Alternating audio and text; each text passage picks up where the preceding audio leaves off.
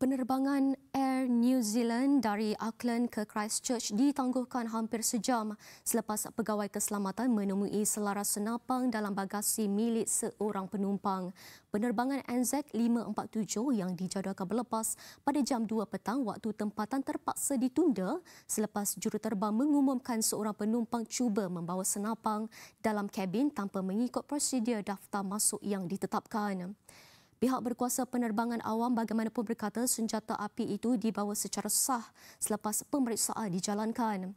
Pemilik bagasi berkenaan yang telah berada di tempat duduknya ketika itu tidak melawan dan memberi kerjasama penuh ketika diminta meninggalkan pesawat. Jurucakap Air New Zealand berkata penumpang itu telah dibawa menaiki penerbangan berikutnya.